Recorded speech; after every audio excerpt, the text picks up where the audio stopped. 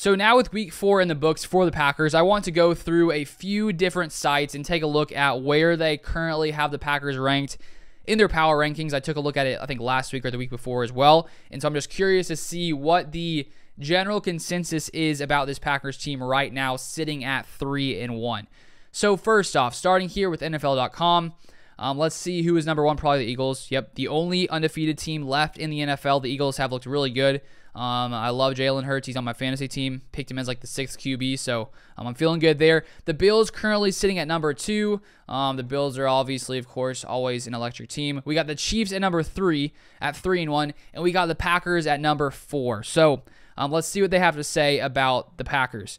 When it was over, Fox cameras captured Packers coach Matt LaFleur removing his headset with a look of epic relief etched across his face. That was a that was a great little clip there if you guys haven't seen that. I feel like Matt LaFleur felt like all of us felt in that moment, just getting the win, being like, oh, goodness gracious, thank you, we did it. they say a home affair against a lesser Patriots team playing its third string rookie quarterback should not have stretched to overtime, but Green Bay is a team fighting itself while still in possession of enough muscle memory to win in the process. This way of winning, I don't think, is sustainable because it puts too much pressure on our defense, Aaron Rodgers said. And obviously, I've got to play better and will play better. Rodgers is far from the problem. In fact, the reigning MVP made several brilliant throws Sunday. He just needs more help from his collection of mostly unproven receivers. So, as I said, I do think this Packers receiver room is on the upwards trajectory. I think that Romeo Doubs is becoming more and more efficient in the passing game. Rodgers is trusting him more and more. Lazard had his first game over 100 yards. Cobb is coming up in big third down situations. So I like how this offense is looking. We are, I think I saw a stat like the second most, have the second most explosive plays in the NFL right now, mostly due to Aaron Jones and his, I think he has 13 runs of over 10 yards. So when Jones has a ball in his hands, he has just been incredible this year. I mean, a beast. So then we have the 49ers at fifth with him beating the Rams yesterday. The Bengals at six, Ravens at seven. So that is from NFL.com. Now let's move to ESPN. Let's see if they have a similar idea here. So they have the Chiefs number one instead of the Eagles, um, which is interesting. I mean, Patrick Mahomes is Patrick Mahomes. We got the Bills number two. We got the Eagles number three.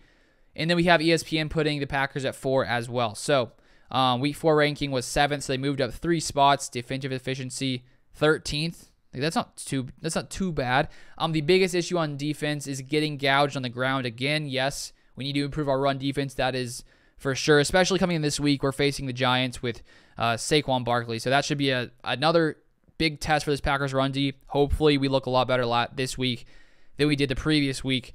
Not only are the Packers allowing nearly five yards per rush, but they're having trouble bringing runners down. There are only three teams allowing more rushing yards after contact than the Packers. This was an issue last year, and it continues to be one this season. Yeah, I think that when we look at this Packers defense, there are definitely high hopes, and I think that they've shown us in, in lots of big situations. We've been really good on third down and big crucial moments. This Packers defense has come clutch, come up clutch, especially in overtime this past week when we needed to hold Bailey Zappe and that rushing attack of the Patriots. We were able to hold them to you know not getting the first down, which allowed the Packers to get the ball back and score touchdowns or get a field goal, not a touchdown. So I do think this Packers defense has looked really good in, in certain situations, but the run D last week looked really bad. Um, I think De'Vondre Campbell and Quay Walker need to play better against the run. The D line, interior D line needs to play better against the run. So it will be a big test this next week in London against the Giants. Then to finish it off here, we have the Athletics. So they have the Eagles number one. Um, and then here we have the Bills number two, the Chiefs number three. Let's see, Packers four again. Huh, huh. Nope, we got the Ravens ahead of the, the uh, Packers here, number four for the Athletic. Dolphins five, okay. Bengals six, okay. Not in the top six, maybe seventh. Nope. Buccaneers better than the Packers. We did beat the Buccaneers, but they were without their top three receivers, so maybe that's what what they're thinking there. Um, I'd still put the Packers ahead of the Bucks. We did just beat them recently. Um, Packers eighth, okay. So eighth, three and one. The Athletic gives us the worst ranking of these three. Um, they say what they are unimpressive. All right. With a three game stretch coming up against the Giants, Jets, and Commanders, the Packers won't have a chance to prove they're serious contenders until a Week 8 trip to Buffalo. That's going to be a great game. It's probably the perfect time to send Aaron Rodgers, Christian Watson, Romeo Doubs, and Allen Lazard to Joshua Tree so they can connect on a higher level for a few weeks while Jordan Love hands the ball off to Aaron Jones and A.J. Dillon for some easy victories. I guess you're, uh, I guess they're wanting to give Jordan Love some more playing time. I don't think that'll be happening most likely. One of the problems with Green Bay is it signaled an offseason shift to become a defense and run first team, and the Packers haven't really been great at either. They're allowing a league high 71.7 completion percentage while blitzing at the second highest rate in the league. Um, they're also only 12th in rushing success rate per TruMedia. So we already talked about this. The Packers' run D needs to improve, and the defense overall, I think, hasn't been quite as good as we thought they would be. Um, and they definitely need to get things going. We are without, you know, Jaire last week, as well as Adrian Amos going down with a concussion. Rudy Ford did play well, I think, in Adrian Amos's absence, but there are definitely some spots in this defense where we need to improve. The thing I already discussed in this video that I think is, pot, you know, a positive is in big situations, this Packers defense has come through when we really needed them to. Week two against the Bears, we hold them on, what was it, fourth down, I'm pretty sure it was, to keep the game 24 to 10.